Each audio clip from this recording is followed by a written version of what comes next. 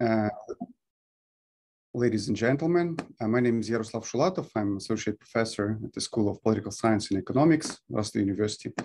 Uh, thank you very much for joining today's event. Uh, this seminar is organized by the Slavic Eurasian Research Center, Hokkaido University, Institute for Russian East European Studies, Waseda University, and the Japanese Society for the Study of Russian History, Rosashi.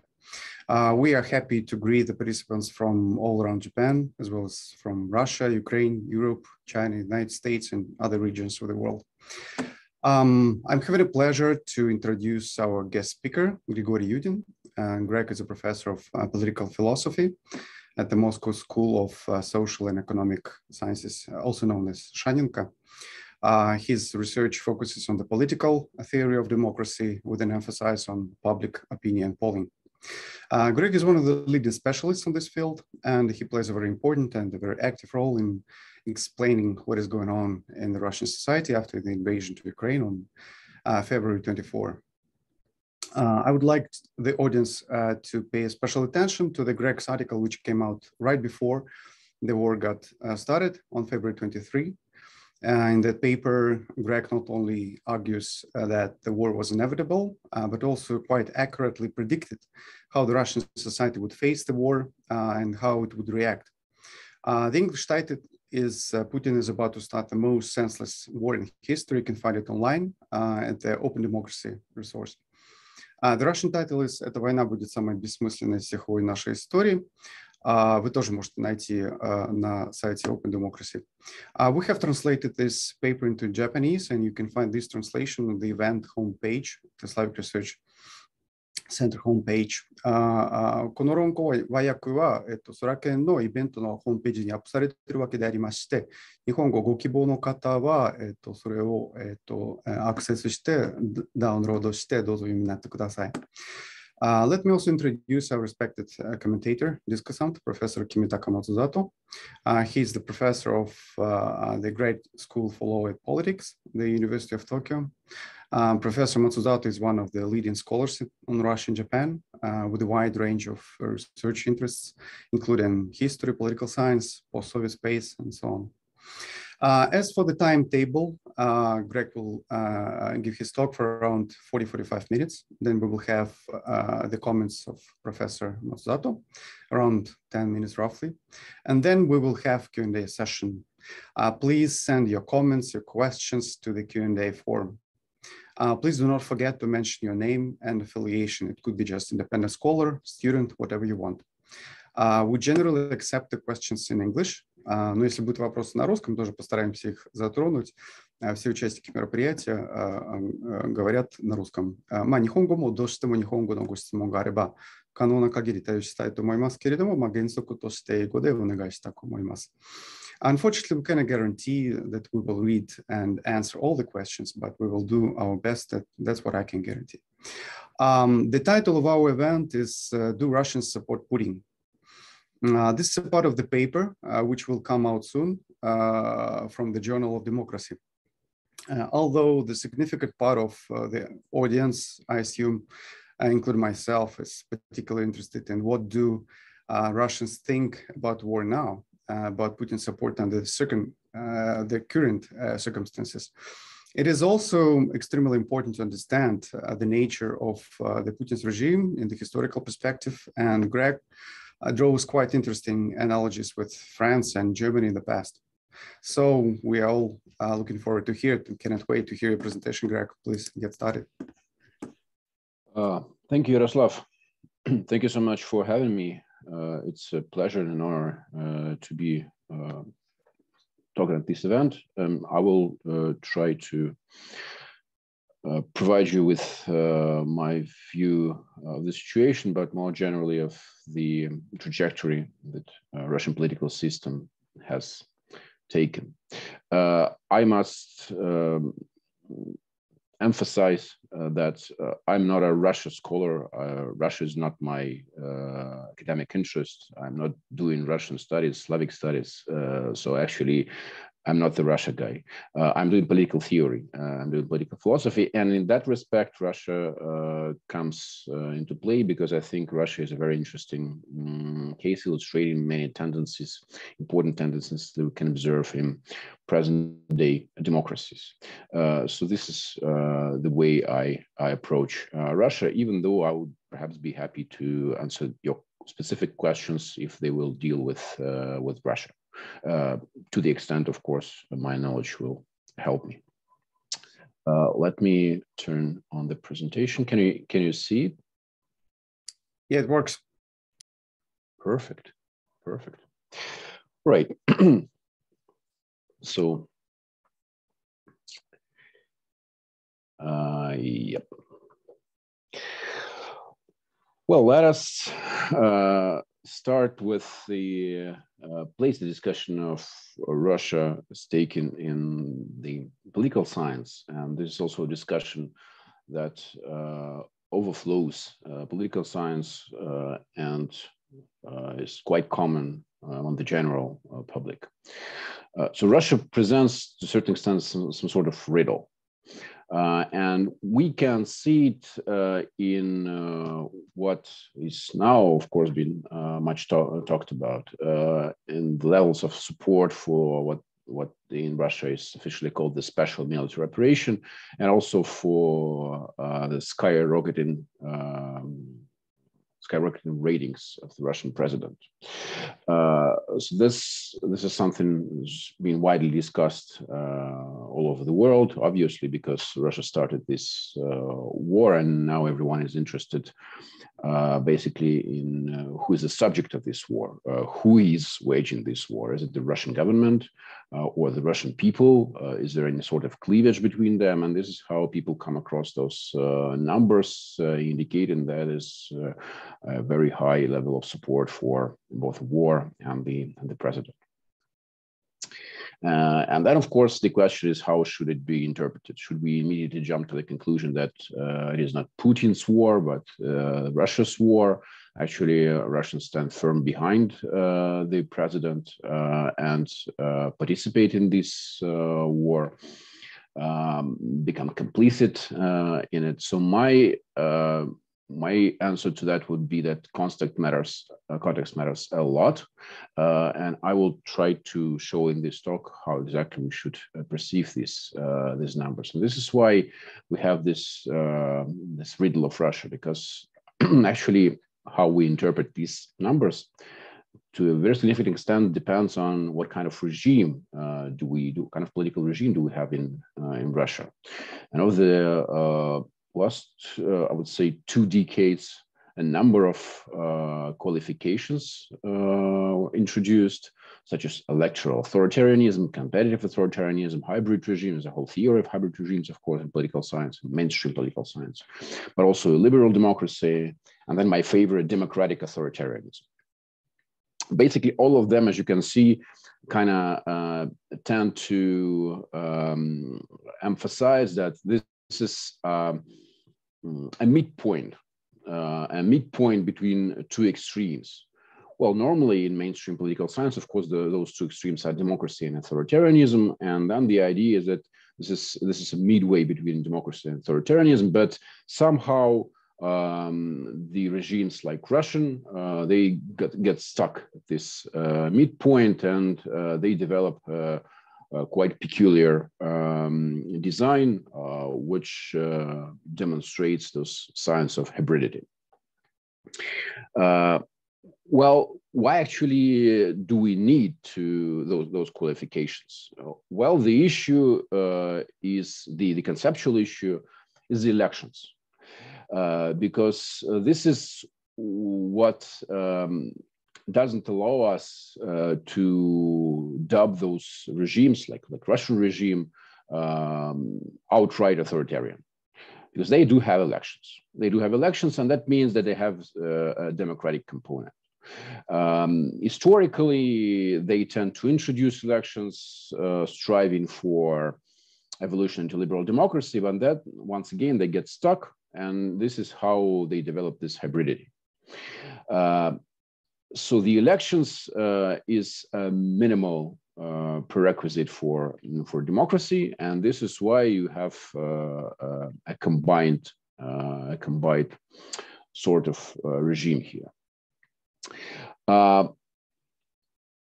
one important observation here is that um, you might assume that in that kind of design, elections would turn into sort of uh, necessary evil, perhaps a window dressing, uh, signaling the uh, the older world that this is uh, this is a democracy, while um, despising democracy, of course, internally.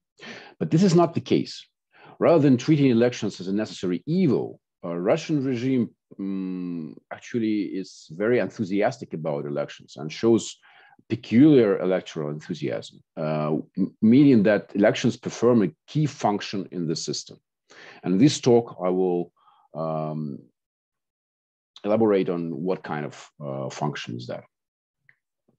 Uh, now, how can we see it? Not only uh, in the fact that elections are not suppressed in Russia, but also in the fact that actually uh, elections are quite regular in Russia. And just as it happens in um, liberal democracies, um, the political life is organized around elections. So those are key institutions in both the United States, Germany, Russia. So no, no difference here.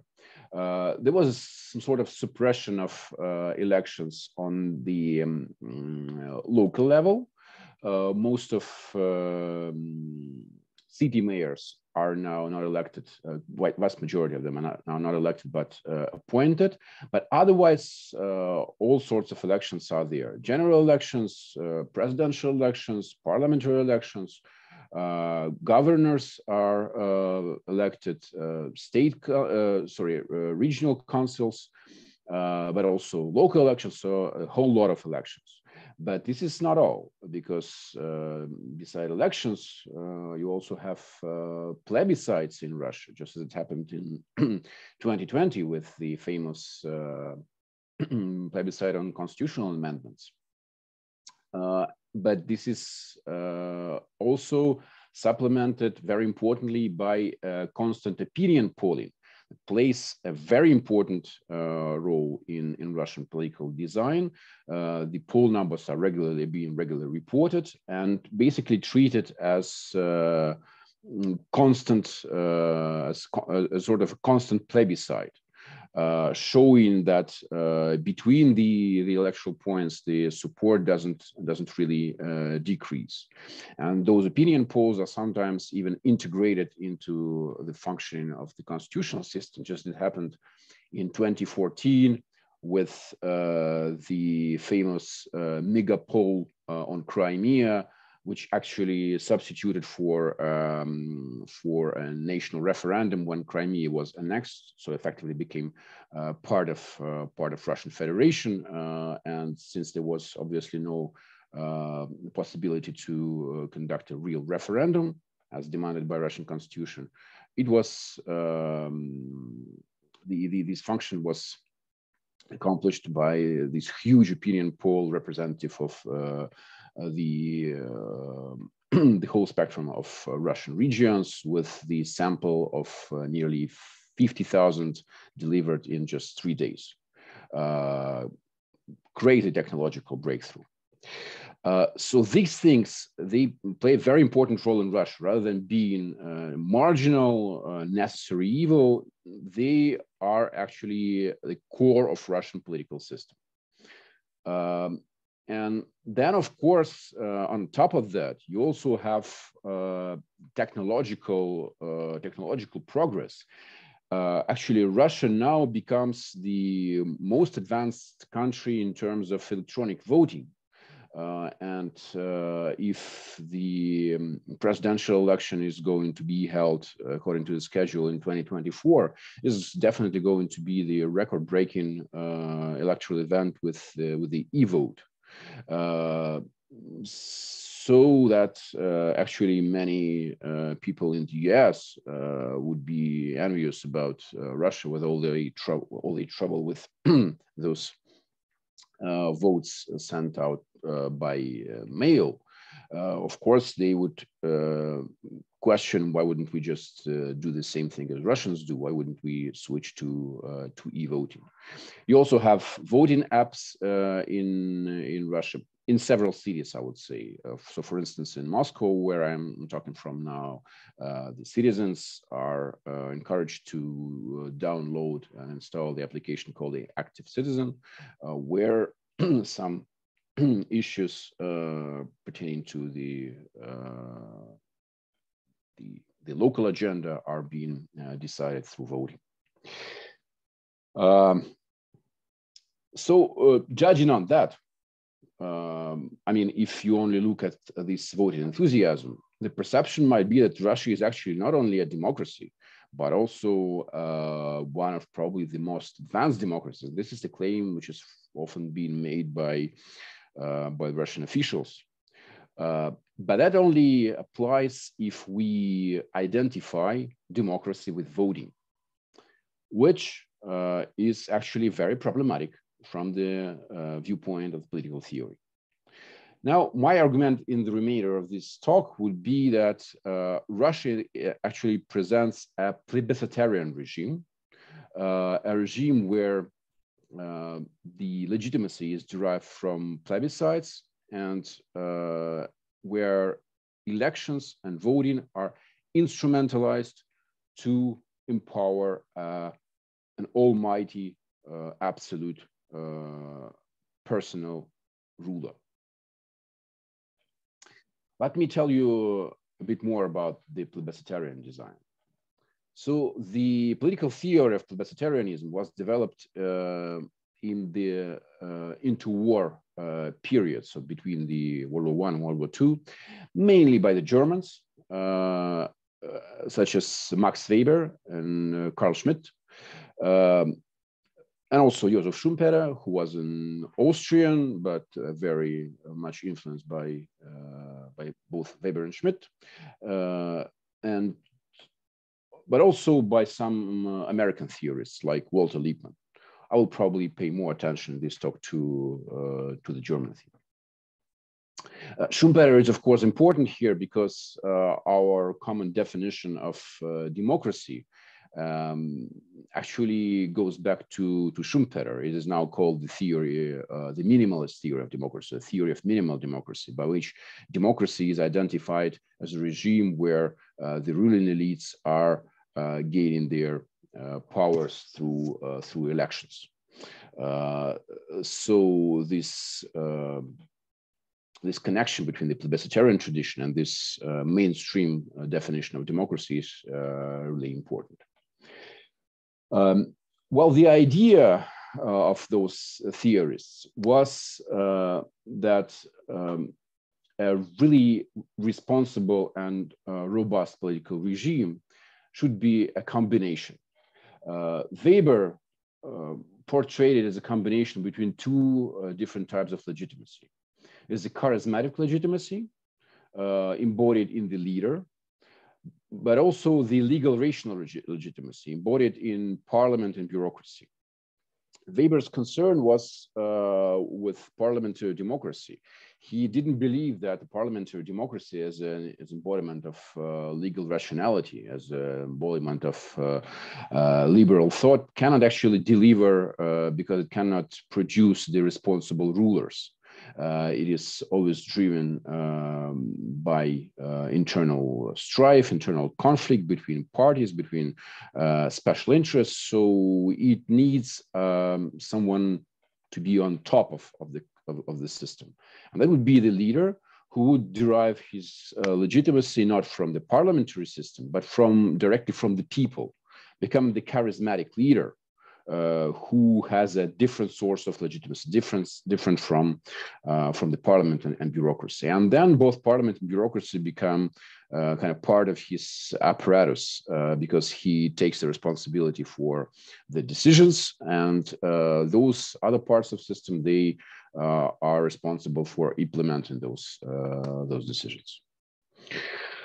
Uh, it actually led to a specific design of the German constitution, uh, the so-called Weimar Constitution of 1919, and Weber was uh, very active uh, in promoting this constitution. He was actually part of the Constitutional Committee, uh, drafting the constitution, uh, and in this committee, he uh, insisted on creating this position of the strong leader, the president, first president in German history.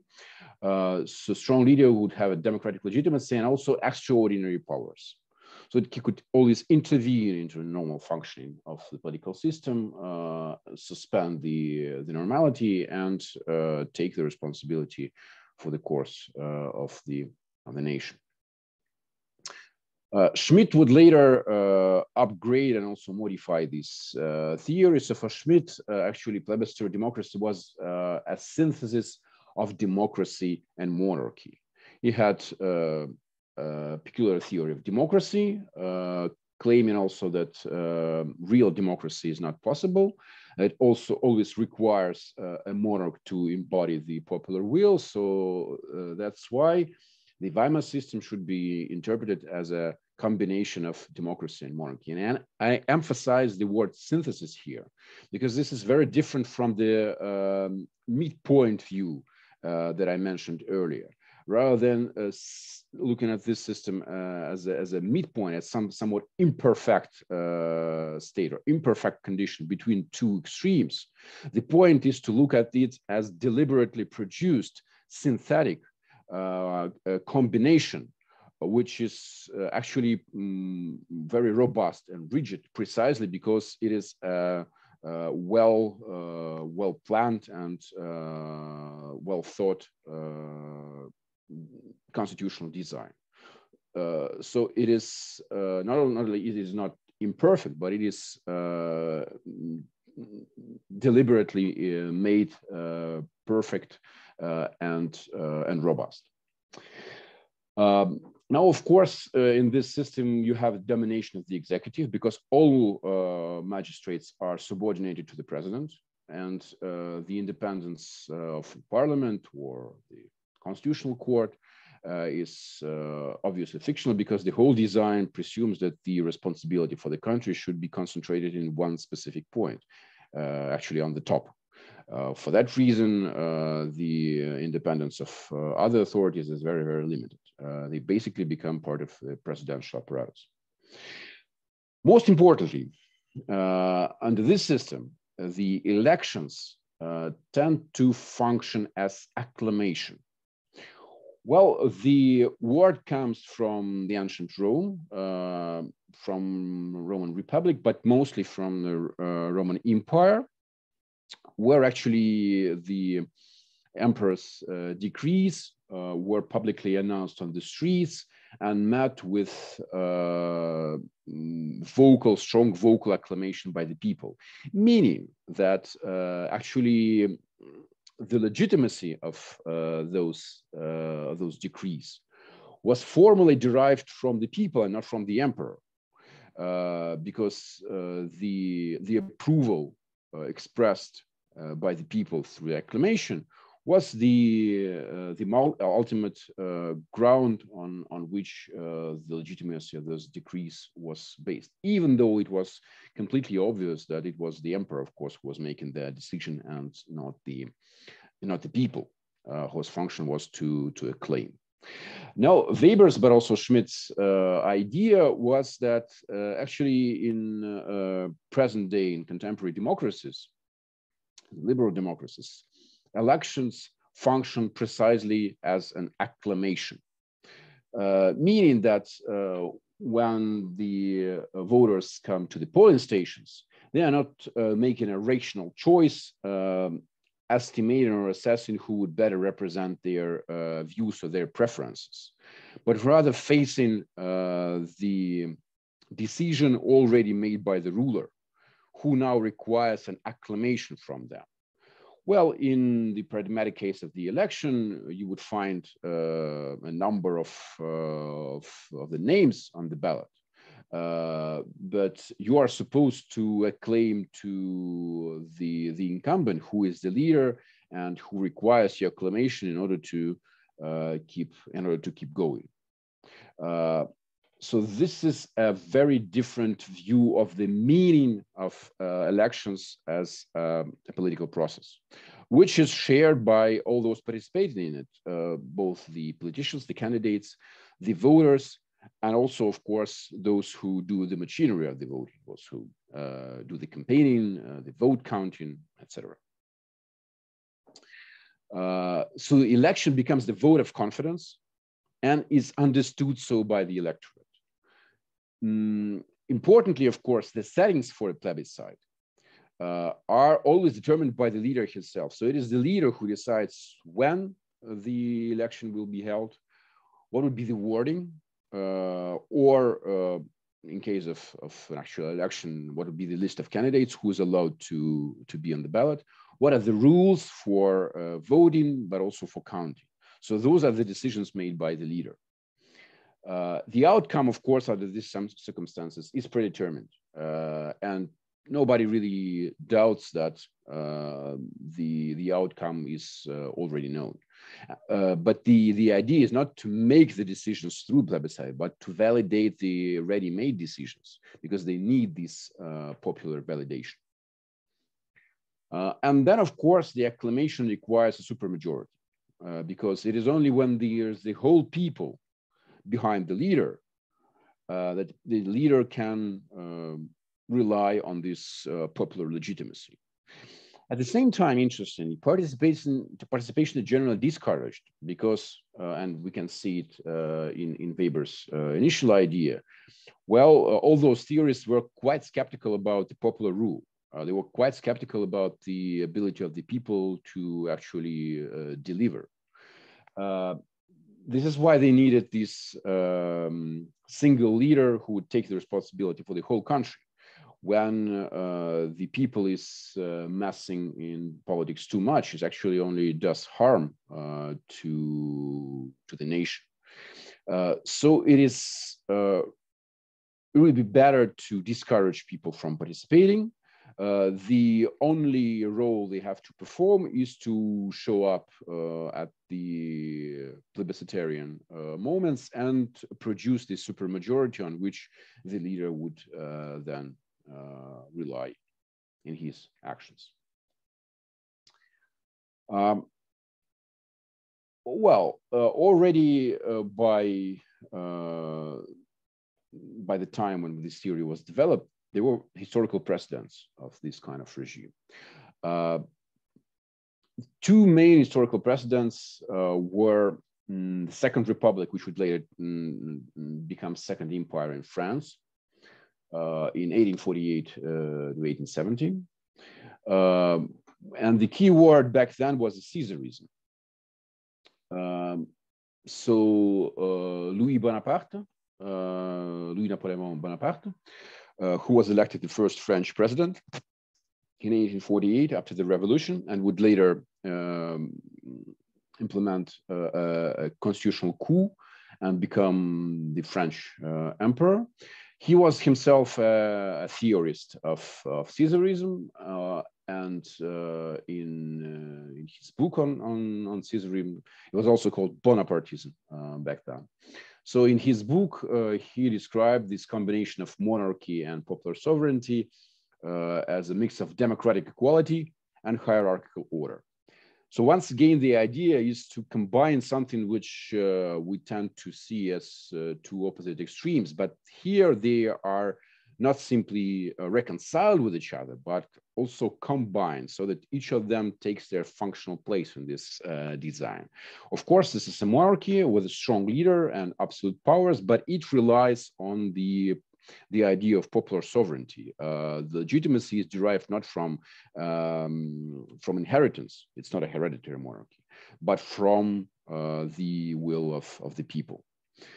And of course, Napoleon was quite um, successful beside the, this election of 1848, which was a huge surprise, of course, for all the Republicans. They didn't expect um, Napoleon, who was, of course, a clone uh, to them, uh, didn't expect him to win, but then he uh, mm, turned out to be uh, much more persistent than, he had, than they expected, accomplished this um, coup in 1851 and 52, with also with two plebiscites, and then was ruling through uh, through this plebiscitary legitimacy, uh, which was also derived from a whole system of local elections, which were producing legitimacy for the official uh, for the officials uh, handpicked uh, by by Napoleon III's administration. Uh, so basically, it was a lot of uh, elections going on in France all the time, and uh, all of them there would be one candidate handpicked by Napoleon. Uh, the whole administrative apparatus would be crazy about making this about getting this um, candidate uh, elected. He would get he would campaign on showing his proximity to Napoleon, would distribute the evidence of this the personal support from, from Napoleon III. And they would normally win, even though not always, but normally uh, those uh, Bonapartist candidates, they would win. Uh, and they would, uh, in, in, by that way, uh, further contribute to Napoleon's own legitimacy in an indirect way. So it was never at stake uh, directly at those elections, but in indirect, way, uh, in indirect way, uh, those little victories for those candidates contributed to his uh, own legitimacy. And then you have, of course, a second major um, case in point, uh, the Weimar Republic, which would also later turn uh, Third Empire uh, in Germany? Well, that's that's a common thing about republics. Uh, they tend to gradually uh, dissolve uh, into empires without that being recognized. never happened uh, in, in Germany, of course, because the Third Reich uh, was formally only a continuation of, of the Weimar Republic. Weimar Republic was never never ended officially until the until the end of the war. And uh, it was, of course, uh, very much uh, under the influence of this infamous Article 48 of the Weimar Constitution, the article which, uh, as I mentioned, was promoted, um, among others, by Max Weber, and which gave uh, extraordinary uh, powers to the president. The president obviously abused these powers, and this is how uh, the National Socialist Party came to power because they never won uh, the the election in such a way as to uh, get the um, uh, the Democratic majority. Uh, so instead of winning the Democratic majority, which was impossible for the Nazi, they actually took the constitutional path. they pressed President Paul von Hindenburg into appointing Hitler the chancellor uh, in January 1933. And then Hitler himself would uh, abuse, of course, this Article uh, 48 uh, very much. Mm, and there were also plebiscites. Uh, so there was a very common thing both under Weimar Republic and uh, after the, the Machtergreifung, so the, the, um, the come to power of the Nazis well, I, I, even have here the actual ballot. You can see it on the right, the actual ballot. Um, uh, this one uh, is about the the annexation of, uh, of the Austria uh, of Austria. Uh, so this this was the ballot uh, distributed to to the uh, to the Austrians uh, during the annexation. And uh, importantly, well, there are two uh, interesting things here.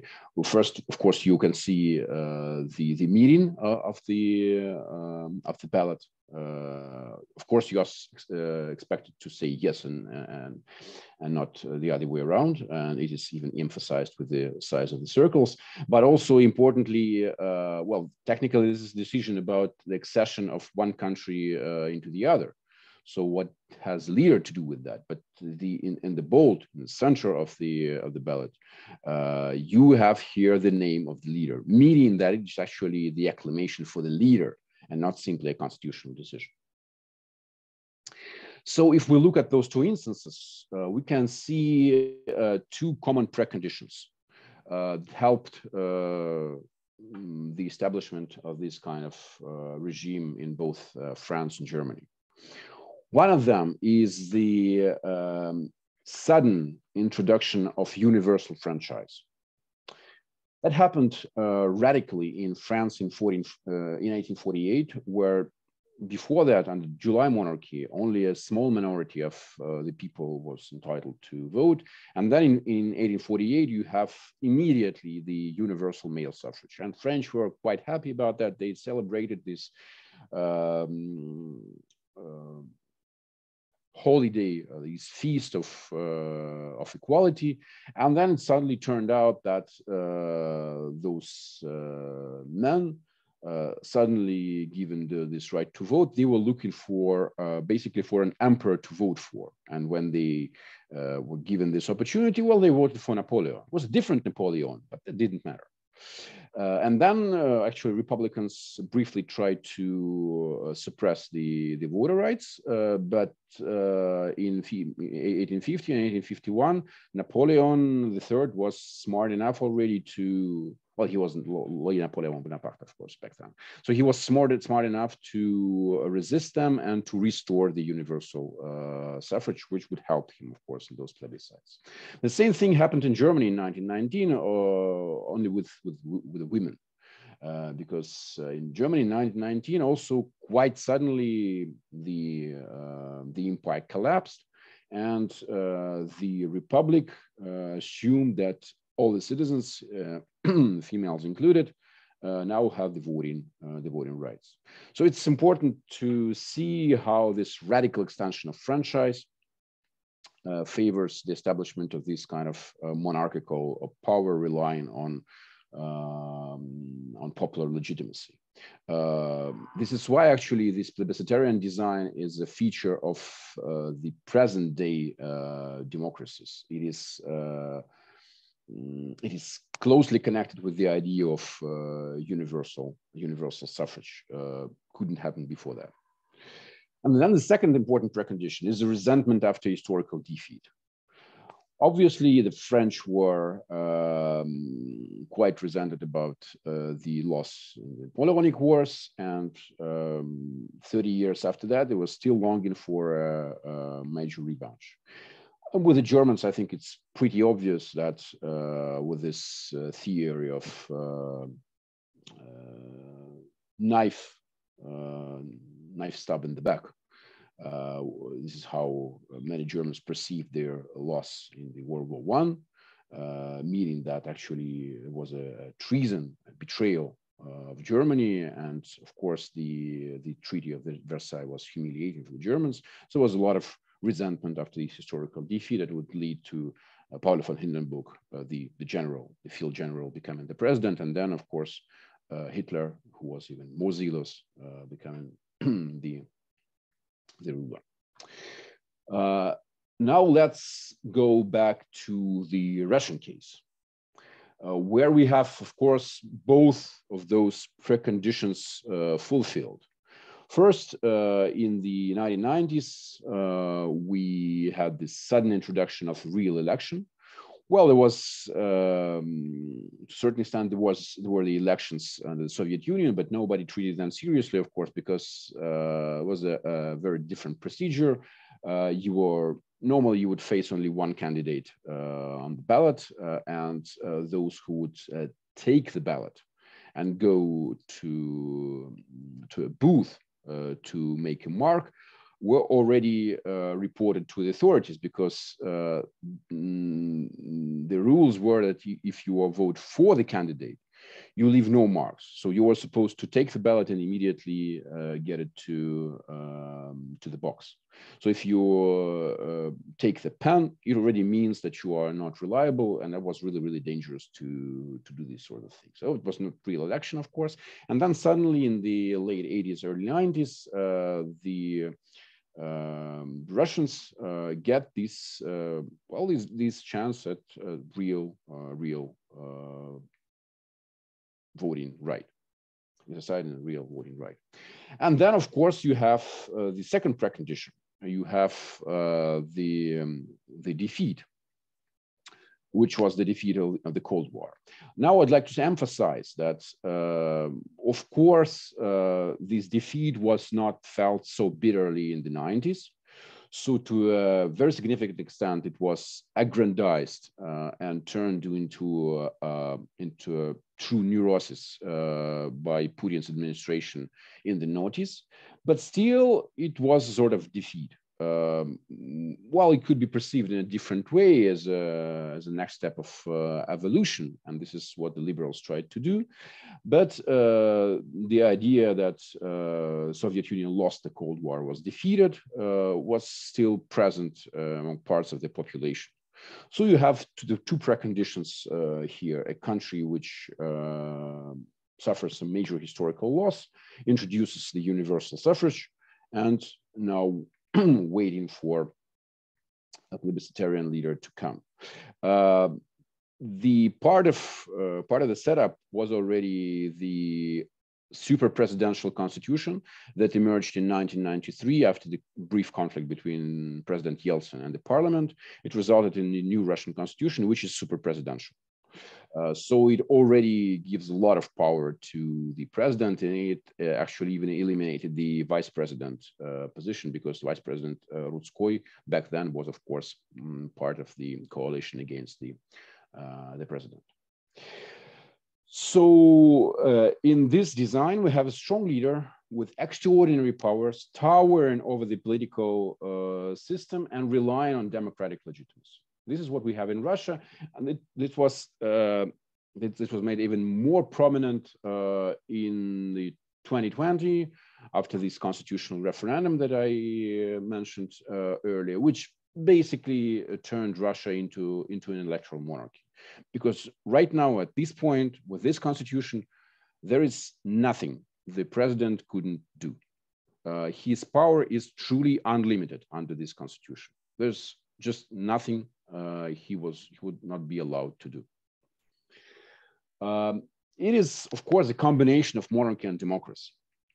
Uh, well, the plebiscitarian theorists would call it plebiscitary democracy, but uh, it would perhaps uh, more uh, sincere to call it a plebiscitary monarchy. Uh, it doesn't make much difference. So now Russia is this combination of monarchy, with Putin being an emperor, uh, and democratic legitimacy. Uh, importantly, of course, electoral events are widely perceived as acclamations, uh, so that uh, the decisions made by the president are perceived as uh, unchangeable. Uh, one cannot influence those decisions.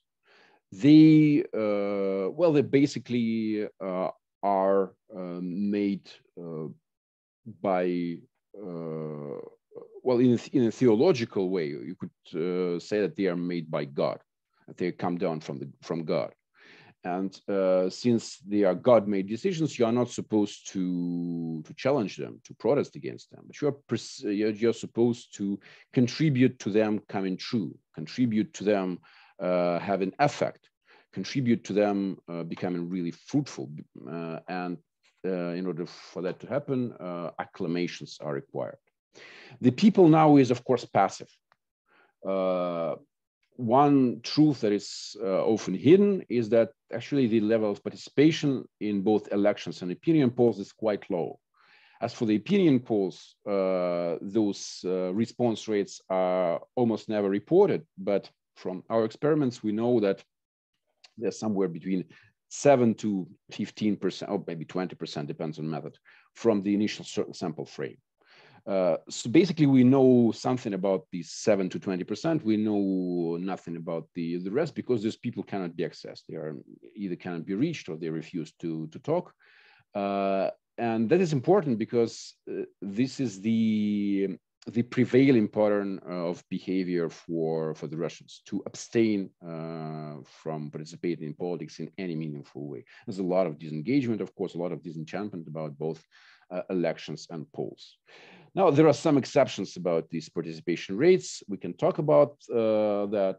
Recently, uh, the president who uh, required the, the absolute majority uh, of support was pressing uh, the people to turn out at the, at the polling stations. It was happened during the 2018 elections, but also during this 2020 uh, constitutional plebiscite. There, the participation rate was higher, and still uh, he only managed to get uh, with um, to get about 15% uh, sorry 50% of support uh, for his um, for his personal rule uh, from from the whole population. And part of that is of course voter fraud. So generally the participation rates are very low. Having said that i would just remind you that uh, we know from political theory that those passive and atomized isolated masses actually quite, can be quite dangerous because it is, it is from these masses that the historical fascist regimes uh, were building their strong support. So I think we are now in a very, very precarious situation in Russia precisely because of this uh, popular passivity. Uh, now, um, well, um, one uh, example showing the um, uh, the way shown, how it works was with uh, the special military operations, also called this way in, in Syria, uh, back when uh, Putin decided to intervene in, in, in the Syrian civil war. Uh, so back then, just a week before the um, it was announced, there was uh, an opinion poll where the majority of respondents uh, were uh, saying that they're against uh, any kind of intervention into uh, into this into the civil war in Syria. But then the decision would be announced that actually Russia takes part uh, in in this crisis, and then a different poll was conducted just uh, in a week, without I would say much justification coming from from the above, and it would immediately reverse the numbers. Um, the same thing applies actually to the situation in Ukraine, because obviously we had no uh, no public demonstrations on the streets uh, calling for uh, the uh, the military operation, calling for the army uh, invading uh, Ukraine or solving the the Donbass question. Um, it was the, perceived as a ready-made decision, and for that reason, I well, if if we imagine that on February 24th, Putin had, for some security reasons, decided to hand over those uh, parts of Luhansk and Donetsk regions back to Ukraine, the uh, the support could be expected to be exactly the same. Probably the composition would change a little bit, but uh, the numbers of support would be exactly the same. Uh, now this uh, low turnout, it contributes uh, to producing popular legitimacy uh, with uh, alleged supermajorities. And what you see here is actually the, the typical math of Russian election. You have a 20% turnout. 15% of them are people who are dependent, highly dependent on the state. Yet they're basically bused or forced to go to the polling stations and under those conditions, the incumbent gets 75%, which creates, of course, uh, the the impression of the overwhelming majority. and since this, this, is an atomized uh, country with isolated individuals, people would uh, seldom communicate with each other, particularly about politics, and they would take this for granted. Um, uh, I would probably make a brief comment against what is called in political science the falsified preferences theory, uh, which implies that in authoritarian uh, settings, people falsify the preferences, meaning that actually they are against Putin, but they would tell the pollsters or uh, voted the election uh, they uh, for Putin because they are afraid of repression. I think the theory is uh, wrong precisely because it assumes that uh, people have their fixed preferences, which is not the case not the case in a depoliticized uh, situation. Because depoliticized depoliticized people uh, are not likely to develop stable preferences. So people generally try to stay away from politics and the claim to any decision made by the leader. Well, let me finish that with uh, some uh, some observations on the traje trajectory of those regimes and also some predictions uh, coming from that. Uh, one uh, common feature of those regimes is that they tend to repress domestic politics. uh, because the leader is supposed to represent the whole people, not part of the people.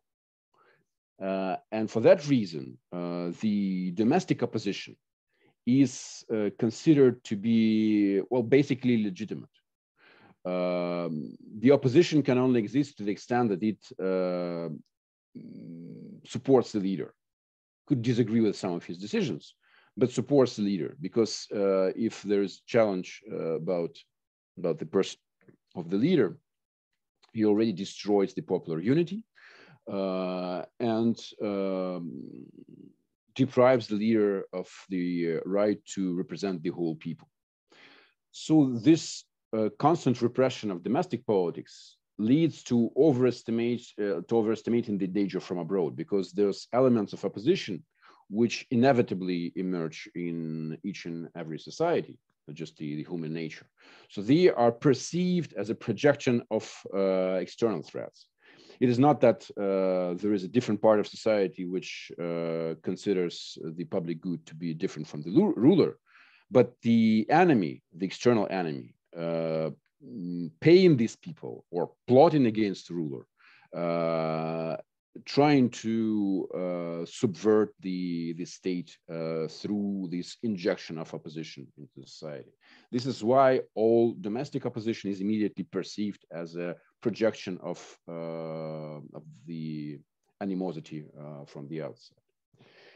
And that in turn uh, leads to overestimating the real dangers coming from abroad, which results in military adventurism, which results in all those regimes starting um, paradoxical wars because none of them was really endangered uh, from the outside at the point when they started those uh, those wars, but they were perceiving the situation as existential threat.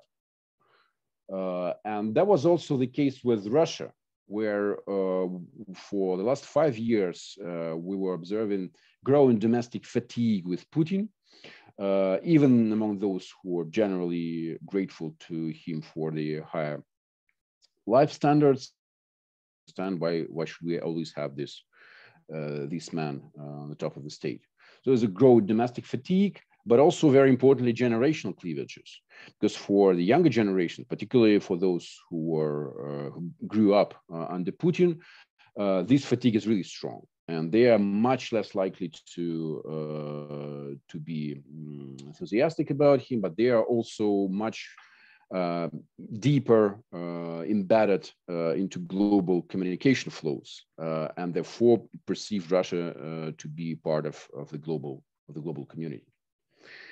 Um, so that kind of created uh, for a situation of almost inevitable upcoming uh, uprising uh, in Russia, similar to what we saw in Belarus in, in 2020. Uh, I would say that even uh, in terms of its composition, uh, it could be assumed to, to be very, very similar to what we saw in, in Belarus, coming from the, the same parts of society and having a very good chance at establishing a hegemony in, in, in society. Uh, and to that, Putin's administration reacted with this undifferentiated perception of internal and external challenges, meaning that this challenge from, in, from the inside was perceived as a continuation of the challenge from the outside, uh, with Ukraine being the stronghold of the, the opponent. Uh, who is trying to uh, secure Ukraine as a sovereign uh, as a sovereign state, from where the political challenge to Putin's rule uh, might come. And this is why Putin coined this term anti-Russia, meaning, of course, anti-Putin, uh, meaning that uh, Ukraine becomes the source of existential threat to, to himself. And that actually explains the invasion because many people were um, puzzled about the fact that Putin is willing to take uh, those additional risks in this situation. But the thing is that for him, the risk of inaction is too high, is actually existential. Uh, assuming that there would be an inevitable uprising very soon, uh, inaction, uh, failure to uh, uh, to subvert the international order, starting with Ukraine, would actually be um, a fatal uh, a fatal mistake, and that's why he started this war until it was uh, too late. Now, my final conclusion would be that uh, in all those previous cases, we saw that, that eventually after a military defeat, a major military defeat, those empires, uh, those plebiscitarian empires, uh, were transformed into republics in a very painful way, but still the idea of republican life prevailed.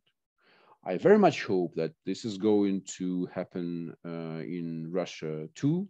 It's not going to be easy. It's going to be a very, very um, difficult, uh, bloody, uh, and um, problematic experience for uh, for Russia. But now, with those younger generations um, understanding the Republican life much better, uh, and um, with this uh, empire basically having nothing to offer to its neighbors. I think the Republican path is still possible for Russia after that ends. Thank you so much. Thank you very much, uh, Greg. Great perspective. Um, uh, we have uh, some raised hands and I have to um, repeat once again. So if you have any questions or comment, please use the Q&A box uh, and send your questions in English over there. Uh, otherwise, even if you raise your hand, we will take it as an acclamation for Greg's presentation, but not more than that. Uh, so the next step is uh, um, we will ask Professor Matsuzato to give his uh, comments uh, to the speech. Uh, thank you, Chairman. first, I would like to correct the kind introduction by the Chairman. I'm not a Russia specialist, I'm a Ukrainian specialist and I might be the specialist in the Russian Empire, but, not the Russian Federation. So today's uh, dialogue will be very interesting because uh, Dr. Yudin introduced himself not as Russia specialist, I, neither am I. And thank you, uh, Dr. Yudin, for your uh, very timely and insightful paper. A point I found very interesting is that, uh, as Dr. Yudin notes, empires born from uh, uh, democracies tend to overact, overreact to imagined foreign threats and pave way to their own collapse. This mechanism explains why Putin started the reckless war, genuine, genuinely believing that Russia was in an existential threat, exactly when Russia outlived the difficult years of cheap oil since 2014 and when it had become possible for Putin to revitalize his beloved patronal politics with abundant subsidies. I want to address a question to Dr. Yudin. So I, if I dare ask something to Dr. Yudin, uh, do Russians indeed support whatever the authorities propose? Uh, is it not necessary for the Russian authorities to endeavor to increase public support uh, it was obvious that the intervention in the Syrian war would be a very unpopular decision. So the Putin government prepared a maximally painless strategy to concentrate on airstrikes by creating the Air Cosmos Force uh, while uh, uh assigning painful land battles to Syrian soldiers. Explanations by Putin's representatives at the Federal Council to gain its confirmation of military intervention was much more detailed and careful than the Crimean case taking place one and a half year, year before. I do not think that the constitutional referendum in 2020 could have been so successful if COVID-19 had not heroized Putin for his decisive anti-COVID action. In early March 2022, the support for Russia's invasion in Ukraine was 58%, while 23 responded negatively. In June, I suppose some 80% of respondents uh, supported the invasion. Without tremendous endeavor, this change could not have been made. A basic way to make citizens support the aggress uh, make citizens support the aggressive war is to convince them that Russia was in existential crisis on the eve of the war. Therefore, in March, uh, Russian mass media uh, disclosed the fact that Ukraine had planned to attack not only DPR, LPR, but also on Voronezh and Rostov Oblast, passing the DPR territory, and on Crimea as well. But this news seemed too stupid to be re repeated until convincing the people. So this propaganda was ceased quickly, but a more future-oriented propaganda started. Mass media intensified acclaim for the Soviet Union for its geopolitical position and economic uh, self-sufficiency. Of course, not for socialism. Mass media uh, describe Russia's import substitution with a much more positive uh, light as a way leading Russia to a self-sufficiency. The Bologna process in higher education was rejected because it devastated Russian student and technical specialist knowledge. David Ricardo's theory of comparative advantage was the leading ideology for the RSSR succession from the USSR. But Ricardo was rejected eventually. And this rejection lifted restriction on Russia's territorial expansion. From 1990 to 2021, both Russian communals and elite believed uh, that natural resource, not territory, was making them rich. Russians believed uh, territorial expansions to regions without natural resources, such as Ukraine, would make them poor. Now they do not think so. On June 29th, the St. Petersburg government organized a grandiose graduation ceremony. This ceremony provided a spectacle, symbolize, spectacle symbolizing a new Russia. A sailing ship passed through drawbridges uh, shined by salutes. Graduates from Peter's sister city, Mariupol, were invited to the event and responded TV interviews. If Russian citizens began to request it, began to be requested to change their lifestyle, rejecting authoritarian meism and consumerism. Perhaps it is not uh, for the military contribution, but rather for this pursued Soviet development. But I'm not sure whether the authorities request Russian citizens to change their lifestyle it is uh, unsurprising that Sheshisachi Minut or Barisha Iwara are playing their role much more intensively than peacetime. What terrifies me is that a majority of Russian TV programs continue to be assigned to comedies, detectives, and popular music uh, when the nation are causing sufferings and sacrifices to, to their neighbors. Thanks to the uh, tangible gap of military potentials between the two countries, Russia has not been in need of general mobilization taking the contemporary military technology for granted, it seems useless uh, to mobilize youth unable to steer helicopter, uh, unable to steer helicopters or to shell by howitzers. In, con in contemporary wars, even infantry should be well-trained soldiers. If Russia needs general mobilization, it will be a serious challenge for Putin's regime, but it seems unlikely that this might happen. Lastly, I would like to honestly support Dr. Yudin's prescription that Russians should stop fetishizing elections and referendums, but pay more attention to the, the qualities of democracy. Yet electoral, electoral fetishism in Russia and other post-Soviet countries have mm, very deep Soviet roots. So the way to overcome it will be long and winding. Uh, thank you for attention. Uh, Professor Matsuzato, thank you very much for your comments. Uh, we are uh, receiving a couple of questions uh, in Q&A. Please uh, keep on posting and before we start answering, Greg will have a few minutes to react to Professor Matsuzato's comments. Thank you. thank you very much, Professor Matsuzato. Thank you for taking your time uh, to uh, to read the the paper uh, and to develop this this useful comment.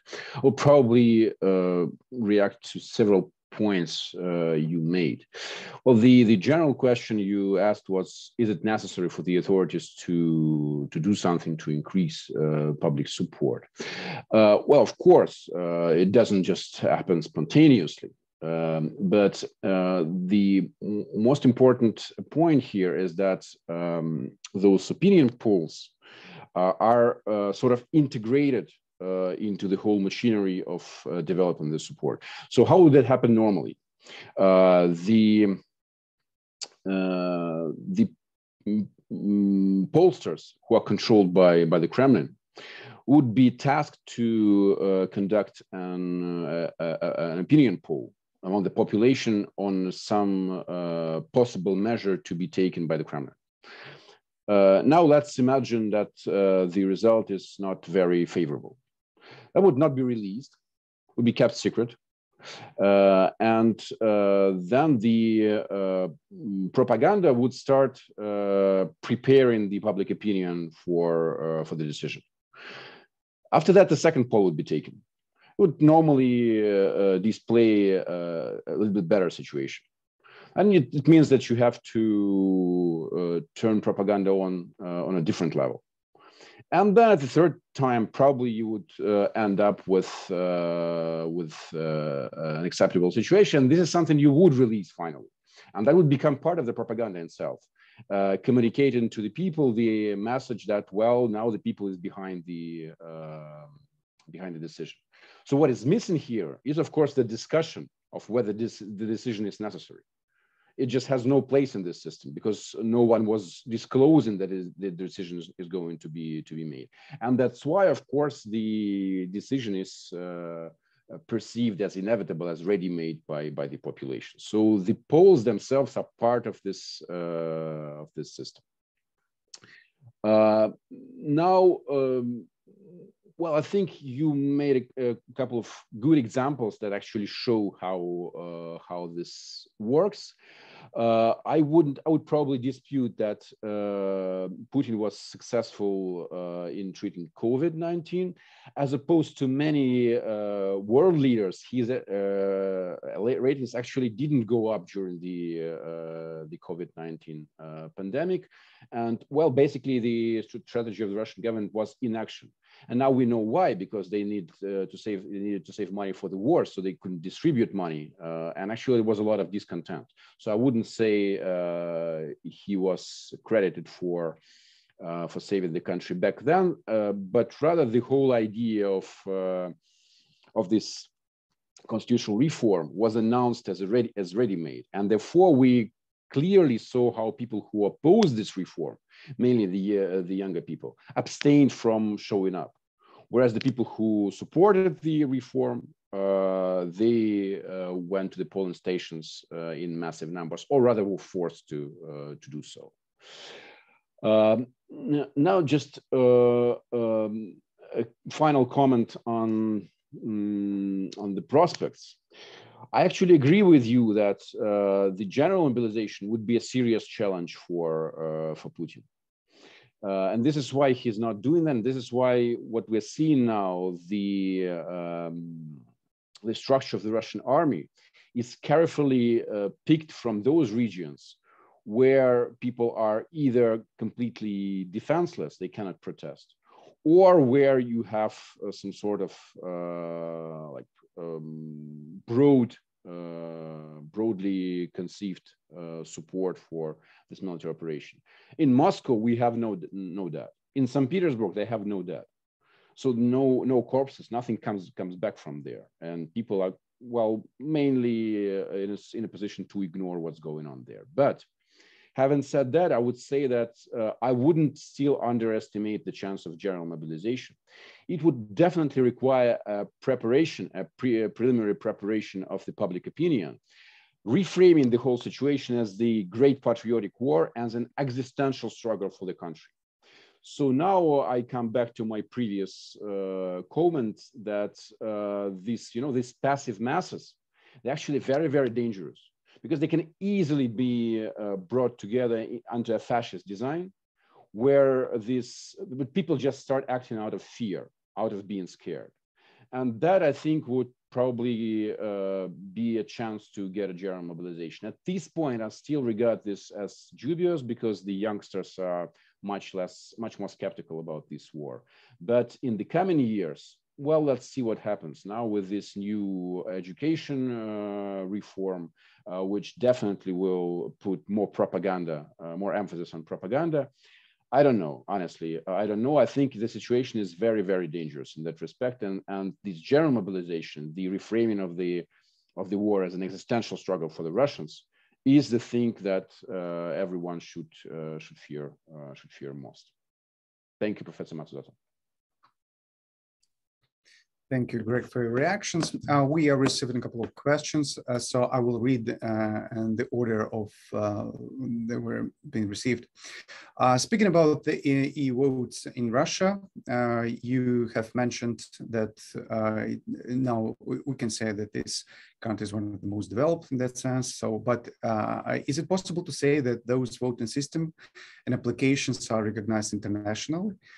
Uh, is there uh, audit trail, uh, the, the process of recording all changes in, in data throughout the life of circular data component incorporating the Russian e-vote system. what is your take on it? Well, there was a lot of criticism about the system implemented uh, in, in Russia. It was uh, most obvious uh, last September when it was implemented during the parliamentary elections in Moscow so in Moscow, I guess we had something like 15 or 16 uh, electoral districts, and in most of them, the candidates from the opposition uh, won uh, on the real uh, polling stations. Uh, and then the results of the voting were disclosed, which turned out to be uh, the reverse, and they reversed the um, the results in all those districts uh, implying that somehow there are uh, two types of Russian, uh, two types of Muscovites. The real Muscovites vote for the opposition, while the virtual Muscovites they somehow support the uh, the ruling party. And that was, of course, attributed to a fraud, which I'm completely sure it was uh, was enough uh, evidence. And part of the issue, of course, is that the control over the of the system was basically not available for the for the opposition. So it was not impartial. It was not uh, was not not no independent uh, oversight uh, here. But that doesn't change my general argument. Uh, and the general argument is that the, this voting enthusiasm, this electoral enthusiasm, actually gained traction in Russia. So even among the people who are kind of concerned about the, the safety uh, of the system, there's a lot of support for like moving online generally for, for having those uh, electronic uh, voting systems. Uh, to, uh, to me as a democratic theorist, as a theorist of democracy, the whole idea is completely wrong. Uh, it is not the, the implementation, but the whole idea, which is completely wrong, precisely because it, because it reduces uh, democracy to this, you know, snapshot thing. Uh, meaning that the, the, task of democracy is to register the pre-existing uh, preferences among the people.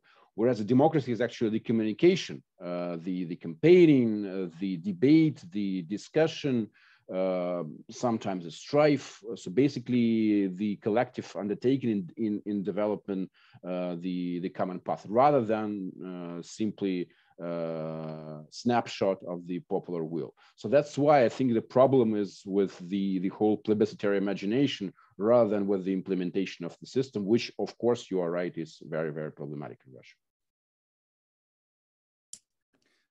Thank you very much. We are proceeding to the next question. Uh, thank you deeply for insightful presentation. I have two questions. Uh, the one, uh, the first one concerns so-called division uh, of the Russian society between educated elites and the mass.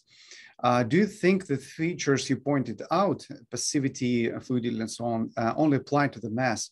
While the elites are excluded from the plebiscitary monarchy you described. Uh, the second question concerns the hope of uh, transformation of Russia from empire to republic. Uh, do you think this transformation is accompanied by a territorial dissolution of the Russian Federation, which seems to be necessary to free Russians from imperial consciousness? That's it. Uh, thank you. Uh, to the first question, of course, the, the elites are themselves part, part of this plebiscitary design. They have the same mentality. Well, uh, actually, the way it works is that the, the president, who has those uh, manufactured numbers of popular support, he comes to the elites and says, look, uh, I am uh, the, the big guy, the big man, because I have this, these people behind me. And he uses this stick of the people to threaten the elites. Uh, I can do whatever I want to, to do to you because there's a people behind me. Uh, and then, I mean, nobody really cares that these people is fictional, that people is, is manufactured, but he uh, threatens them with this stick, and that's why they are also very much isolated. There is no coordination among the elites. This is very important because I mean uh, now we have a lot of talk about like uh, possible coup. In order to have a coup, you basically need first of all you need to start like talking to each other, and uh, the elites are terribly scared about just talking to each other because that already means uh, I mean everyone everyone is concerned about being uh, followed, spied on, uh, and uh, that already means some sort of, you know, being non, not, not reliable. Uh, so this uh, is a general uh, view, I think, that unites both the elites, the mass, and actually the president himself, because he himself is, of course, also very, very isolated, as you can see with those ridiculous tables. Um, now the second question, that's a good question. Um, well, what I'm talking about is, of course, a political transformation, uh, a transformation of political principle, because now Russia is uh, incredibly hierarchical. I know there are ideas of Russia being always like that, always having those uh, authoritarian tendencies, but one has to understand that this level of concentration of power uh, on the top is almost unprecedented in Russia. Probably we had something like that with Stalin over several years, probably something like with Peter the Great. Not even sure about Ivan the Terrible, it was more, uh, more complicated. Uh, I mean, most Russian tsars, uh, not speaking, of course, about the general secretaries of the Communist Party, had, had nothing like that, uh, not nearly. Uh, and the whole system is hierarchical because you have those little Putins everywhere. So the the the way to get things done is to find someone who knows someone who has the connections to someone who can uh, pass the word to, to, to the boss. this is how the things are running in, in Russia. Whereas the Republican way of doing things would be, of course, much more political equality, collective action, the horizontal uh, relationship, uh, and much smaller distance um, to, uh, to, to power and to authority. This is the transformation that is necessary. Is it necessary to um, for for a territorial dissolution to happen? Honestly, I'm not sure about that uh, from the political viewpoint. But at the same time, I hold it for be very likely, because with uh, this invasion, a uh, very bad thing happened. Uh, we failed to stick to the borders of Russian Federation established in 1991. The Russian Federation no longer knows where its borders are what actually, I mean, like even leaving Donbass aside, what the hell is Russian Federation doing in Kherson? Like what would be the claim on Kherson from the part of Russian Federation? And that destroys the, the idea of Russian Federation as a, as a state which has its fixed borders. But if you can move borders forward, they can easily be made move backward because as uh, Russian president himself believes there's no, no major difference between Belgrade and Kharkiv. But if you can shell Kharkiv, obviously uh, Belgrade can, can be shelled as well. So I, I think it is very likely that uh, Russia will not uh, remain in its uh, pre-2022 uh, borders. Uh, thank you for your answer. Uh, the next question, I, I still see some um, hands raised. Uh, please uh, put down your questions into Q&A box and we will definitely uh, try to read it out. Uh, so the next question is, what will be the signs of upcoming Russian uprising?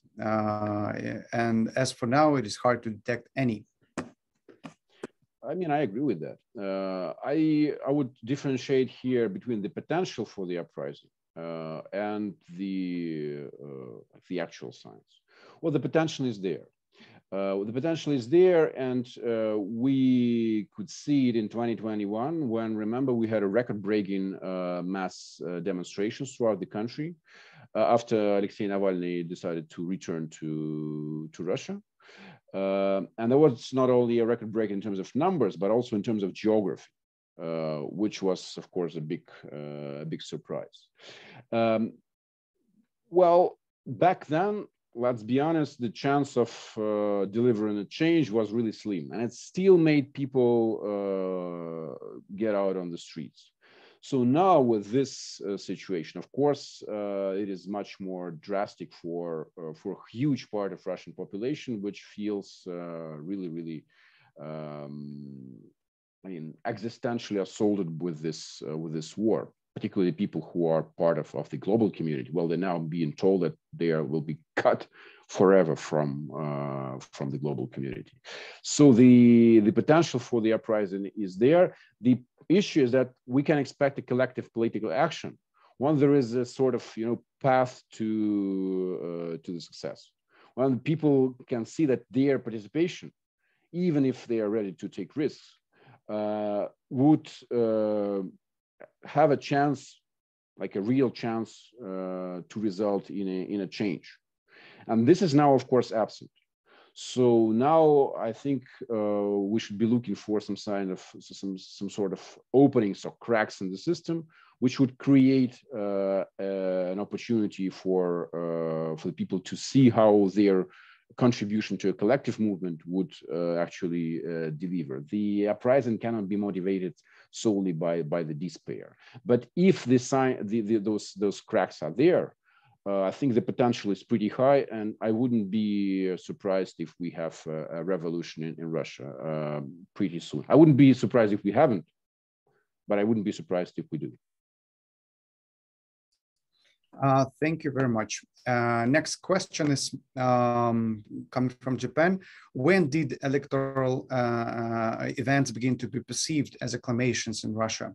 Uh, did it completely uh, coincide with the arrival of Putin, or did Yeltsin have anything to do with this process? Very good question.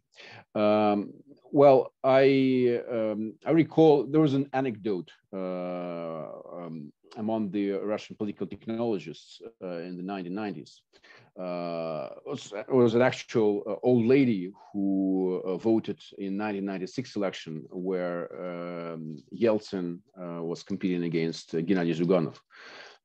so a, um, correspondent asked her who did, he, did she vote for. She, asked, she said Yeltsin. And when he asked, and why not Zyuganov? She answered, well, when Zyuganov is president, we will vote for Zyuganov, uh, which is precisely the, of course, the, the acclamation mentality. So it shows that it was present back then, but uh, Yeltsin himself um, did not really uh, see his uh, power relying on that sort of uh, authority. Yeltsin was, of course, very um, ambiguous, contradictory leader, but he had these those democratic uh, elements uh, in his thinking and uh, in his in his policies. He established this super presidential constitution, which was, of course, a major contribution to the uh, to the later rise of plebiscitarianism. But he himself uh, didn't really need this sort of uh, acclamation. So I would say that Yeltsin's role was to uh, you know, to put in action this this system, which was waiting for uh, for uh, a conscious, a self-conscious plebiscitarian to to come in, and this is when there was this major turn, not only among uh, some layers of people, like with this old lady, but also with the majority of population starting to perceive uh, the the election as as acclamation. So so it still seems to me that the major things happened already under Putin. Thank you. Well, this example actually reminds me of one Soviet anecdote uh, when Rabinovich mentioned that he was колебался вместе с линией party, so like the way with the party line. Uh, so we can speak about acclamation uh, and uh, inherited oh, from, from Soviet past. No, that, that, that's actually a very interesting question. I think uh, Professor Matsuzato also made this comment that part of that might come actually from the Soviet past. Even though I made the, the claim that uh, Soviet elections were not real elections and everybody was aware of that. But still, you know, this mechanism of communication, I mean, as a sort of cultural pattern, it might have something to do. My take on that would be still that uh, the the the important the most important things happened when uh, this idea of democracy came over was important from the West uh, and democracy was identified with the elections. And the whole idea was that, well, what democracy is it when we, when we go voting?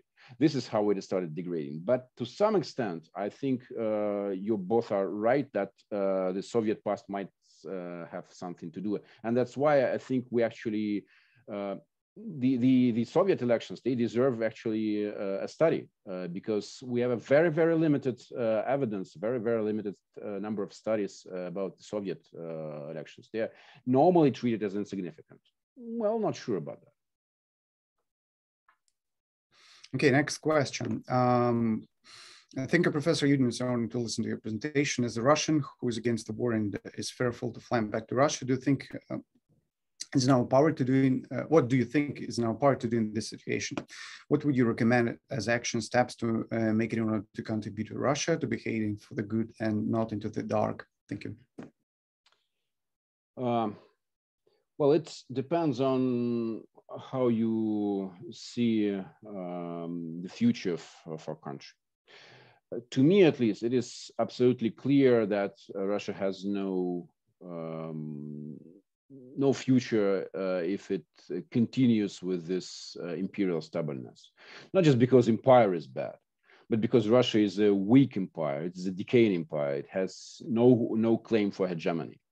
Uh, it is not attractive to its uh, neighbors, and this is why they are uh, trying to flee away from from Russia. so, if we agree that there is no um, no imperial future for Russia, uh, then Russia should be repositioned completely as part of uh, the global community. And I think uh, we all need now, painful as it is now, uh, difficult as it is now, but we all need now to start rethinking what Russia should be um, in the in the close future, and that would in turn, um, you know, uh, influence uh, the behavior of the people also in in Russia right now because now um, the the um, the dark element of this is that for many people, uh, this decision to, to start this invasion and to cut Russia off from, from the global community is perceived as a, as a, as a fate. Uh, and uh, while there obviously see no other options. So these options should be provided. These options should be given, particularly to the elites, which, um, I mean, I know that from them, you can imagine that, but I know that from them personally, of course, we are quite, quite unhappy about this decision and they were never consulted about that. But uh, once they see the opportunity for a different future, uh, without uh, this government that takes the whole country uh, down, that would be uh, a path forward. So to me now, uh, the uh, the task is to develop very very clear prospects for uh, Russia to recover after that. Uh, there is no doubt to me that this war will be lost by by Russia. So we have to make it very clear that there is an alternative path for our country and it should be uh, it should be developed so uh, to uh, to wrap it up uh, to make uh, Russia part of the global community again, to work for international solidarity uh, against, yeah, against this this type of this type of rule, which, as we see, not only has um, hegemony in, in, in Russia, but also in fact in a very significant way um, the elites uh, the elites abroad. So building an international movement making part, russia part of international movement developing an international future for russia is something that we can uh, do uh, right now for our country Thank you. Next question. According to many sources, there are more people supporting SMI. I, I, believe it refers to special military operation in May and June than in early March. I do believe they're reliable, these sources, and uh, if so, what are the reasons for the raise of this support? Uh, oh, that actually has something to do with uh, uh, with the the way the, the, opinion polls are interpreted. Because look, um, in a normal situation, uh, if you are approached uh, by by uh, an interviewer, Uh, well, you at least you you you understand that uh, you are supposed to uh, to acclaim because and that, that's actually important. It's something I forgot to to mention. It comes from our own research that uh, the vast majority of Russians perceive the opinion polls to be conducted by the state, even when this is not the case. Even even when the independent pollsters are uh, conducting the uh, the research, Russians mm, don't know the difference, and they interpret it as, as being approached by the state act, asked by the state to uh, to tell the opinion. And many interviewers, I mean, I myself, of course, was a field interviewer um, many times. Many interviewers in, the, in this country uh, had an experience of hearing from their respondents, well, please tell to Putin uh, that's something, meaning that they are perceived to be the communicators between the respondent and, and the, the emperor, which of course is not the case but who cares? Uh, so uh, during normal times, at least uh, you can uh, allow yourself uh, either to uh, abstain or maybe some, sometimes even to, to show the, the discontent. In the wartime, when you're approached by a pollster, well, the, the demand of acclamation is really strong. So if you're really not supporting the war, you are very unlikely to have something to do with those people. Once again, they are delegates from the state. Everybody knows that the state is watching uh, what's going on. Technically, only technically, but still, uh, if you uh, oppose the special military operation, it can um, be uh, punished with 15 years in prison. That's not going to happen with a normal respondent, of course, but everyone is aware of the situation. So the situation is very tense, and I uh, already heard the reports of people who were um, responding to those calls on the streets, uh, being immediately attacked uh, by uh, by the proponents of, uh, of, of this war. So in this very conflicted uh, situation where the state is obviously not on your side, where it demands an acclamation from you, I mean, resisting this acclamation is very difficult. So to me, at least, uh, it is completely logical. I, I would probably add one more thing here, just to make you understand how it works.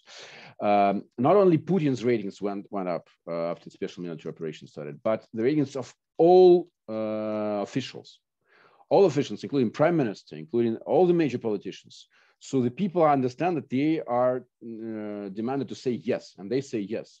The most interesting thing happened, of course, with Vladimir Zhirinovsky, whose ratings uh, were going up and up uh, in February and March, and then probably in April, uh, even though this is not, not published. The problem with Zhirinovsky, of course, is that he was uh, dead by then, but still his ratings were going up. Uh, which uh, shows convincingly, I think, how people um, perceive this demand for uh, for acclamation. So to me, it, it, is, it is completely predictable. Thank you. The next one, uh, the impressive mass which claims the given decision from the above during the um, electoral events. Uh, how in this situation one can assume that this mass, who well used to think that everything is predetermined, would suddenly turn against the incumbent? Well, that's uh, what normally happens in these situations. Uh, you know, um, this element of uh, of surprise is um, embedded in them precisely because um, because of that, uh, you know, mass composition. Uh, when it is not the mass, when it is something internally structured, you can more easily predict how it behaves. When it is a mass which is unstructured, well, you can repress it all the time. But then it suddenly uh, emerges in a quite unexpected situation. This is the dynamic uh, of uh, many revolutions uh, in the in the authoritarian countries, uh, including uh, those over the last couple of decades. So whenever a change comes in, in, inside this country, that would be sudden and immediate, and not something long prepared no, nothing like that. Uh, so uh, internally, like in, in, terms of experience, when people suddenly realize that they have an opportunity, that there is an opening, some suddenly something very different uh, emerges and rises in, inside them. Just because this is a political nature of, of humans, we always look for an opportunity for a political action. Sometimes it is quite repressed as it happens in, in Russia now, but the, the strive for this political action never uh, disappears. And once there is this uh, this opening, people immediately uh, run uh, run over. So um, the the scenario is likely to be uh, quite quite unexpected in uh, in any way. if you ask me what would be the driver, once again I mentioned it, it should be a, some sort of crack in the system. It could be a military defeat. Um, next question. I, I still see some uh, raised hands. Please use a chance uh, uh, to put down uh, your comments into the Q&A session. Uh, from the perspective of a person who's asking the question, today's Russian social and political structure is structures affirm theoretical reform. Uh, do you think it is possible uh, to have like a kind of a second perestroika by Russian regime after Putin era? Will uh, there be some chances and motivations for that? Well, precisely because it is so firm, it um, requires a, a, radical reform. The thing about that is uh, it is just unable, unable to adapt to, to the realities. This is why it is kind of dragging the whole country back. It is obviously uh, halting its uh, its development. The very idea of development is now uh, kind of absurd uh, in this system. So it requires reform. Now, what kind of reform would that be? It's a different question. Um, if by second perestroika you mean uh, the the modernist uh, idea of uh, developing a liberal democracy in Russia, well, I, I think it worked badly last time, and um, it is very likely to work badly uh, yet again uh, I uh, really uh, think we shouldn't be mesmerized by those uh, ideal cases uh, coming from the West, just importing those institutions uh, and then hoping for delivering the, the common pattern. this is actually what brought this plebiscitarian system in, in, in place because you know when you look at those liberal democratic designs, you see that elections are crucial for them. You say, well, okay, we will have election. This is how we all have liberal democracy. No, this is not the case. If you have elections, you will have a radicalization of liberal democracy, which is plebiscitarianism. So to my mind, we definitely need a reform, a huge reform uh, to open up uh, the energy, which is very much uh, there, which is now being constantly repressed particularly coming from from the younger people. But that shouldn't be a, a reform according to pre-existing templates uh, in a, a, strange belief that once we implement the institutions that work uh, elsewhere, we will immediately uh, be in, in, in, in paradise. Russia has to rethink uh, its uh, place in the global community, and it has to uh, be uh, very conscious about uh, what are the institutions to be imported, what are the institutions to be developed from uh, from Russia's own history, what are the adaptations needed. But I I think some sort of reform is actually inevitable. You cannot go on with this with this system. It just mm, blocks any kind of social energy. This is why it's so destructive. Uh, thank you. Um, uh, while we are waiting for one of the last questions, uh, I let myself to ask uh, uh, this kind of question. Uh, many observers in and out of Russia argue that the invasion into Ukraine must be largely explained by the so-called inner factors of, of Russian politics itself. I mean, the regime was losing legitimacy, particularly in the perspective, and he also mentioned growing domestic fatigue and so on. Uh, so uh, the threat from outside should uh, serve as a brilliant excuse for all extra measures like further repression and so on. Uh, others argue that there was a security issue. The expansion of NATO and its military cooperation with Ukraine was a real threat for Russia. Obviously, the regime claims that Russia was in an existential crisis uh, on the eve of war, and Putin is uh, this as the main argument for justification this war. So there are a couple of questions coming from there. Uh, can we say uh, how many Russians actually share the latter view? And uh, what is your own take on it? I mean, um, if we are able to use particular percentage of what kind of reasons were more crucial in uh, the making the decision uh, to start large-scale invasion. Um, as you correctly mentioned, such regimes as Putin tend to overestimate the threat from abroad as well as their own strength. Uh, but can we actually say so they did believe in it or they were uh, uh thinking more uh, about inner factors? look, let me challenge the whole premise um, because it kind of relies on the clear distinction between the internal and external factors. But this is precisely the part of this regime that it doesn't make this distinction. Look, uh, over the last two years, um, we've uh, seen people like Nikolai Patrushev uh, being elevated, and the whole uh, very clear narrative that uh, Patrushev proposes is that all kind of domestic issues, for instance, the issues with the uh, decrease in legitimacy uh, among the younger population is the um, product of uh, external influence. So what should be actually, um, what, what the problem is domestically is the external influence. It couldn't be that young Russians are just unhappy with Putin.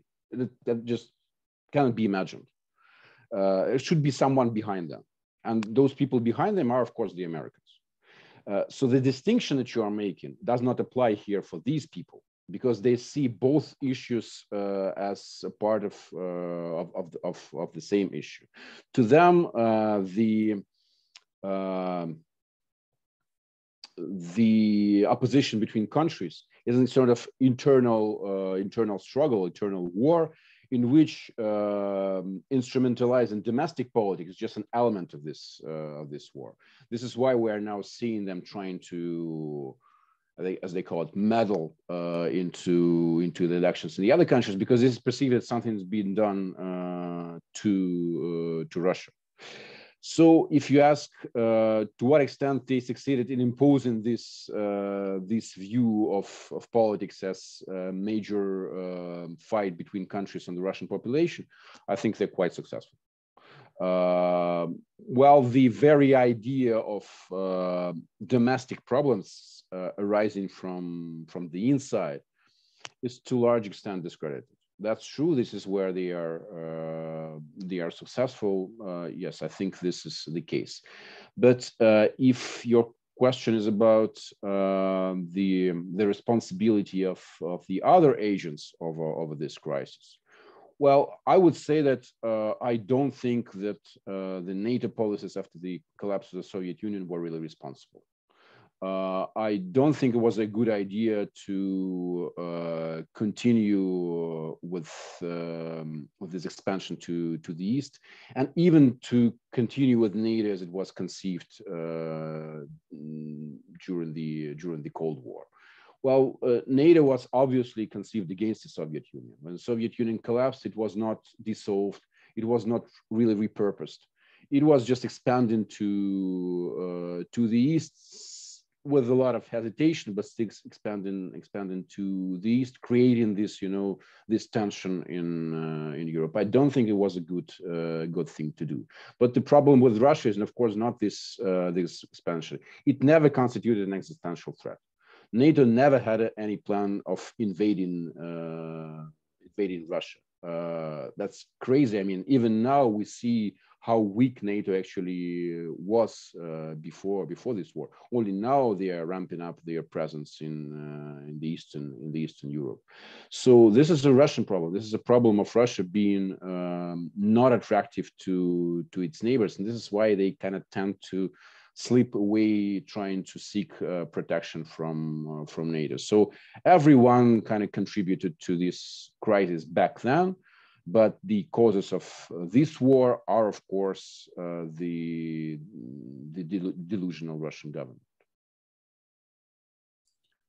Thank you very much. Uh, in but order... also, just just one one final one final remark.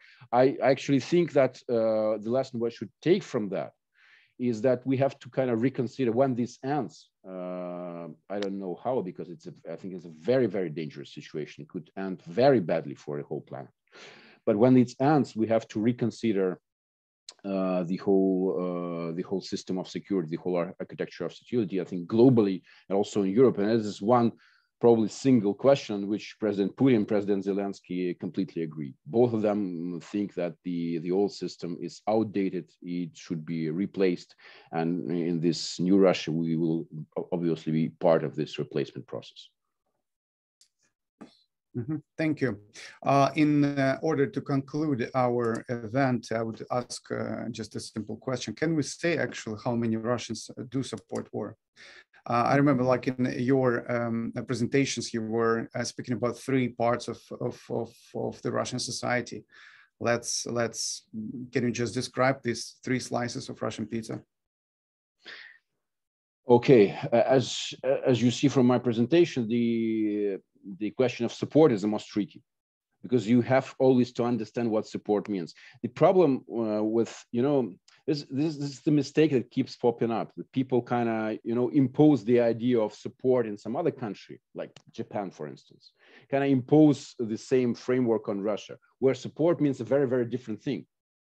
Uh, uh, so I think we should be very, very careful about that, about this idea of, uh, of support, meaning that the people stands, stands behind that. But since you mentioned my very uh, inaccurate uh, and imprecise uh, idea of three thirds in Russian society. Well, I would say that these three thirds were very much present already before the 2022. and one of them is really quite optimistic about Vladimir Putin.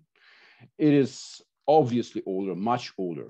It consists most mostly of the elderly people, but also of uh, the outright beneficiaries of, of this regime these people uh, tend to support Putin in everything he does. If he starts nuclear war tomorrow, they he will have definitely their complete support. Uh, um, they uh, are sometimes aggressive, really aggressive. They demand blood, and this is the aggressive part of Russian society. It's roughly one third, maybe a little bit more. Then you have an opposite third, which now, of course, is, is silenced uh, in, in a variety of ways, which consists of younger people, more progressive people, people who uh, perceive themselves as being part of, of the global community, uh, mostly on the, uh, the urban centers, but not, not only in Moscow and St. Petersburg. I mean, Yekaterinburg is probably even worse for Putin than, than Moscow uh, or Novosibirsk. Um, so they form this uh, other, other extreme, also probably 20, 25%. And then you have the, the huge swamp in the middle, like uh, between a third and, and a half of, of the population, which basically tries to stay as far away as possible from that. Well, if, you're, if they're really pressed, they would say, well, Putin probably knows better. If there was uh, a necessity to find those Nazis in Ukraine, well, let him, let him decide. Because I don't want to do anything with that. I don't want to have anything in common with that. I, I who am I? I mean, I know nothing about politics. Politics is a dirty, is a dirty game.